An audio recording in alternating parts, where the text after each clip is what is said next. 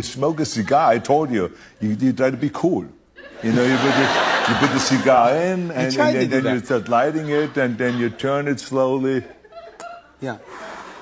You check things out. Yeah, yeah, yeah, yeah, yeah. and all this, and then you, you I gave you the cigar, really the the, the big beautiful cigar. It was a Cuban cigar. Yeah. So this was like a cigar. It was like a hundred dollar cigar, and you started going.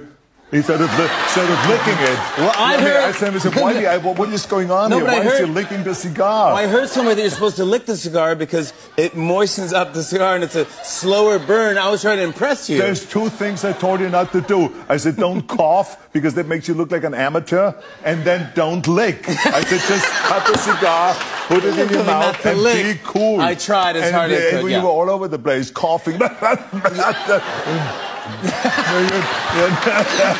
When I cleared all the smoke away and you were gone. You were already gone. I felt like uh, I was a failure in my teaching. no, you were, you were fantastic and I appreciate that.